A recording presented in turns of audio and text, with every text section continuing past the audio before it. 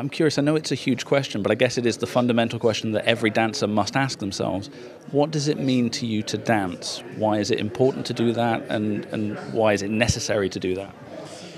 I, yeah, to the, the many years I spent questioning that and searching for the answer, and I think dance is the essence of life. We all dance as kids. We dance in the clubs. We dance when we meet our first love, and no, dance is it's it's like a hidden language of soul. I would say it's very it doesn't have a barriers. Everybody understands dance, so it's something you don't have to think. You know, when you watch, it's like you you're resting.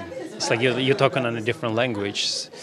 Uh, I think for humans, dance is a, one of the most essence, essences of life.